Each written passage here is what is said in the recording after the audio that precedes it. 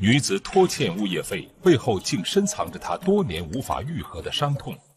他们那些保安人员也不会引导这个救护车进来，这是人命关天的事啊。然后当时导致我们家老人家就在家里也没抢救过来。江西的八月流金似火，绵延数百公里的供水在赣州市张贡区的八景台和张江交汇，二水汇入赣江，向北奔流。在水之畔，位于张贡区东郊路上的这个小区，二零零九年建成并交房，现有住户一千四百多户。二零二零年上半年，小区物业欲将业主罗女士告上法庭，原因是罗女士拖欠了四千八百多元的物业费以及违约金。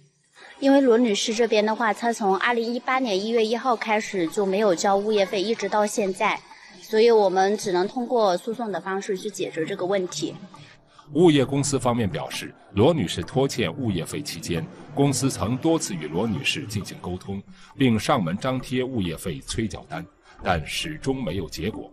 那么，罗女士究竟是因为什么原因拖欠物业费呢？因为我们对这个物业公司的管理各方面是有很多的不满意。罗女士所说的不满意，要从2018年7月，她的公公在家里突发心梗说起。当天，罗女士家楼下的应急车道停满了车。当幺二零急救车赶到时，却迟迟无法进入。他们那些保安人员也不会引导这个救护车进来，这是人命关天的事啊。然后当时导致我们家老人家就在家里也没抢救过来。然后完了之后，到了傍晚的时候，八点多钟的时候，呃，殡仪馆的车子来了，他竟然也不让殡仪馆的车子进入。我们当时不明白是什么。然后我老公跟我儿子下去就。找保安还差点吵起来，那我们这个是极度不满的。这件事给罗女士和家人心里留下了极大的阴影。然而，对于罗女士指出的应急车道被长期占用、小区车辆管理不到位等问题，物业公司方面表示，他们也有自己的苦衷，因为这是一个老旧小区，原有的车位设计根本满足不了现在小区里的车辆停放。小区的人员比较复杂，所以小区它物业这一块的话，尽量去督促。同时，我们小区物业这一块，针对于这个问题，也向消防部门反映过，消防部门也联合执法过来过。但是这个问题就是可能都面临小区配比现状差额的问题的话，可能这个问题现阶段的话，可能就没办法进行处理。至于罗女士所提到的其他问题，物业也试图与罗女士交流。但由于多次沟通未果，物业公司最终想到要通过法律途径来解决。张贡区一村一队工作队的法官在走访过程中了解到该情况，综合考虑双方的意见后，决定提前介入，化解这场纠纷。法律关系又很简单，啊，然后矛盾也不是特别的突出。在这种情况下呢，我就向院里建议安排我院的这个调解室的工作人员来这里调解这样一起纠纷。物业公司因业主拖欠物业费这个事情产生纠纷。今天呢，我想把你们双方请到市起来，就是把这个事情做一个调解。你们的诉求是什么？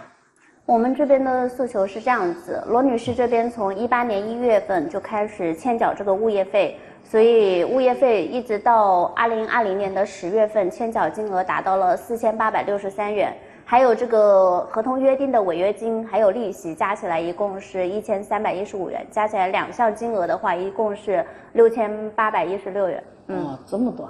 那你从一八年元月份开始就没有去缴物业费？那我想，什么？我肯定有原因的。我想问一下朱经理，你是管理的，我是不是从来没有交过物业的？这个由我们法律这个是这样子的哈，据我们了解，他是从一七年开始入住，他是一八年开始欠缴的。那现在为什么不去交呢？你知道为什么吗？一八年的时候，我家公因为那个心梗发作，那个救护车来了，那个东方圣经的门口，小区门口进不去，然后是在那个外面横街上那条街上转了两个圈都进不去。当时我们家里面老人家心梗，急需等待救治，然后到了后面那个救护车到后后面不行，救护车人员打电话给我们家里的人讲，我们这个车怎么进不来呀？为什么？堵住了。哦。竟然救护车都进不去，导致我们老人家第二部救护车来了也还是没不好进入，导致老人家当那天当时在家里，就因为不治就去世了。哦，过世了。罗女士认为，小区内道路被堵，导致家人生病后无法及时抢救，最根本的原因就是物业公司不作为、管理不规范、安保人员形同虚设。该物业公司有不可推卸的责任，并且在事发后的两年时间里，该物业公司并没有给罗女士一家人一个合理的解释。你觉得我需要交这个物业费吗？你觉得你物业公司，你觉得你能能够去好意思去收取我们这种物业费？那你家官当时去世的时候多大年纪啊？我家官去世的时候才七十多岁。哦，真是安享晚年的时候。对，那这样你家爱人可能是更接受不了。现在我我我现在我家爱人每几乎经常在半夜会起来的时候。他就坐在那里跟我讲，我又想到我的爸爸，我的爸爸年轻的时候吃吃了多少的苦。对，我家公以前是一个铁道兵，然后在铁路上工作了这么多年，退休之后，这是安享晚年的时候，谁知道就这样子就没有了。嗯，你说我们做家属的，我们做做后代的，看到不心疼吗？这物业是物业费，真的是很小的事情，是，不并不是钱的问题。是是是。我们是要你们物业有有一个说法，有要要有要有一个怎么样的解决方案？难道让这样的悲剧继续在别人身上发生吗？在调解过程中，调解员发现，罗女士之所以不缴纳物业费，最根本的原因是心中有气。只有让罗女士把心中的委屈发泄出来，才能进行后续的调解工作。发生类似情况的情况下呢，就是跟安保说一下，如果。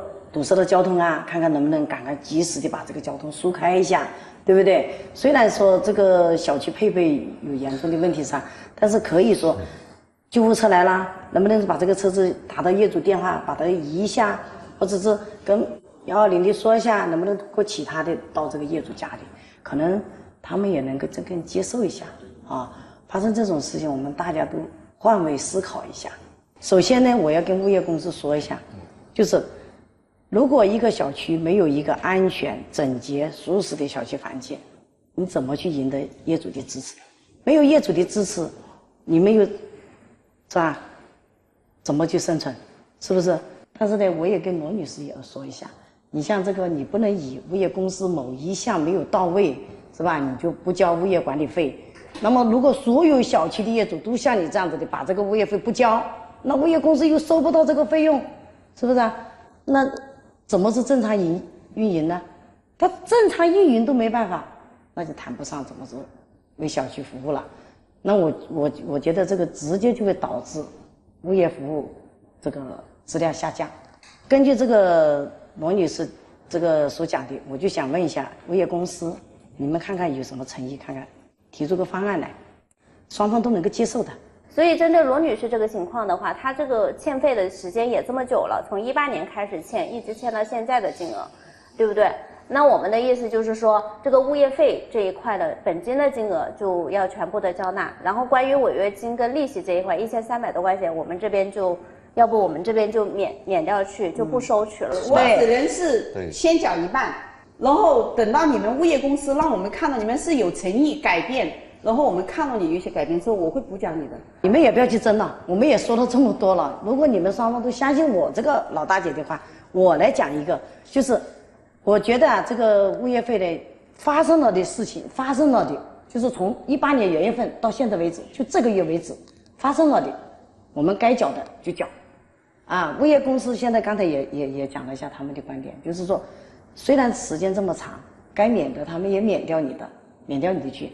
我就我看到你刚才也很有诚意，也我我相信你是一个明事理的人，是不是？要不然就把这个物业费我们就该缴的就缴掉去，是吧？也不要去纠结这这一块，是吧？我现在缴给你都可以，但是那就太好了。我希望，因为这个大姐调调解了我们这么多次，我我也我们也真的是也也希望那个给大家也做一个那个榜样。反正我们通过正当途径。去跟你们物物业公司提出我们的诉求，但是我希望你们真的要可以啊重视你刚才你看重视罗女士业主的诉求。罗女士，你刚才也讲的这么这么那个爽快哈，现在就缴，我看一下你们双方怎么缴比较合适微信还是怎么？你看看，我都可以，微信、支付、支付宝都可以。那你看哦，可以，那就微，要不就微信微信吧，扫码吧。好吧？你看看你们双方，但是我们缴了物业，真的希望你们物业公司也在你们将将来的服务，真真的要提升你们的服务，要有这种服务意识。朱经理在这里哈，对对对我们要讲究，物业公司本身就是讲究服务，对是不是？对呀这个你放心对。大家服务态度，嗯对。除了那那我希望你们也可以开一个那个正式的那个票据给我。可以回去师傅可以，今天大家都是带着诚意来的。刚才我也说到了卢女士的这个物业费用，然后后面的话我也会派相关的工作人员把收据送到您家里。然后今天过来呢，本来也不晓得这个事情能不能调解得成，因为之前在背后也进行了多次的这个处理嘛，调解，我们也了解到了卢女士家里的情况，所以我们带来了一个小礼品，对然后就有礼品可对对赠对对送是吧？对。意思就是表达一下罗女士对我们这个物业工作的一个支持、的一个谅解。哦，对，我都带罗女士，谢谢你们，谢谢谢谢。是没有，同时这应该的。对对，同时我们也感谢咱们的调解员在这个背后做了这么多的工作，能够把这个事情给处理好，让我们不出小区，不用打官司就把这个事情给处理好。也感谢罗女士这边对我们物业工作的支持，今后大家都多加强沟通。